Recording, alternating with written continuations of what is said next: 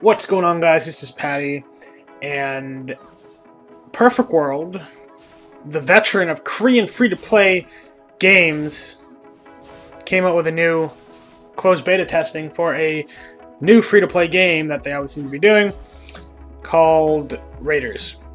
If you guys don't know who Perfect World is, they're responsible for games such as Blackout Retribution, Forsaken World, Rusty Hearts, War of the Immortals, and apparently Torchlight. I had no idea that they made Torchlight that kind of boggles my mind. Anyways, the closed beta testing has just begun, and I was lucky enough to get a key via a program I use called Raptr, which if you guys want to know what Raptr is, I'll actually do a video on that. Uh, I haven't looked up on how long the closed beta test will be, but I'll be bringing you guys uh, videos just to show off the game.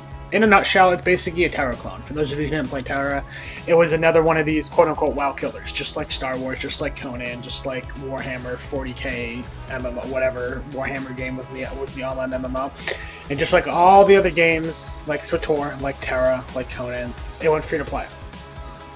Uh, but the aspect of this game is very different from like the traditional RPGs we have now.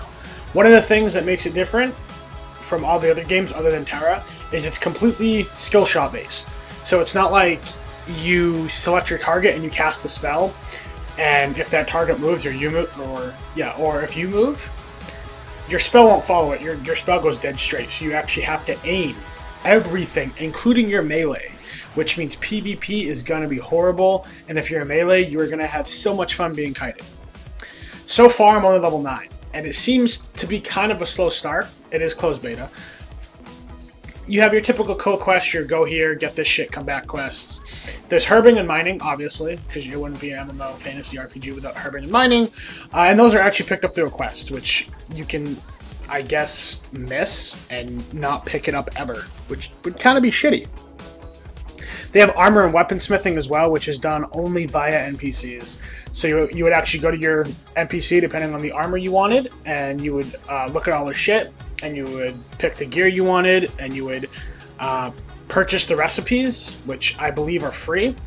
And that would actually let you look at the recipes and be like, okay, these are the mats I need. And then when you click on the mats, it would actually bring up a list of all the mobs that drop these mats and the levels of those mobs. So you at least have a general idea of where you need to be.